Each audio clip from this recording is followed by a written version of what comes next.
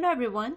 Let's talk about another breaking change related to LangChain. So if you are using LangChain underscore OpenAI, then you must have incurred this error which is saying module not found. Let's have a quick look at the line of code which is throwing this error. So the line of code which is throwing this is from LangChain underscore OpenAI import OpenAI. And if you are using this line, definitely this code is not working today. And the reason behind this, these days, lot many changes are happening on a daily basis. Uh, things are changing, whether it is API, whether it is your package, or whether it is the docu documentation itself. So with this fast pace, we need to be in line. Uh, we need to make our code in line so that it works as expected with their most recent versions.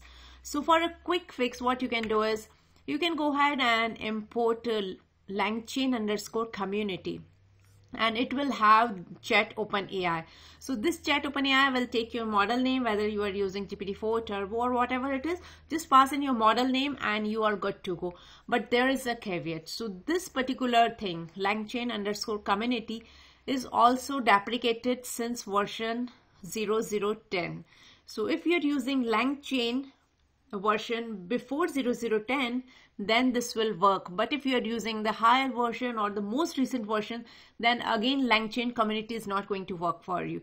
So the suggestion here would be rather than doing this intermediate change why not go ahead and install the package which can fix everything up to the mark based on the most recent releases. So what you need to do is um, go ahead and install langchain underscore OpenAI. This will go ahead and fix everything for you. So earlier this package was not available, but now it is available and it can fix all your breaking changes. So I hope you find this tip useful and thanks for watching.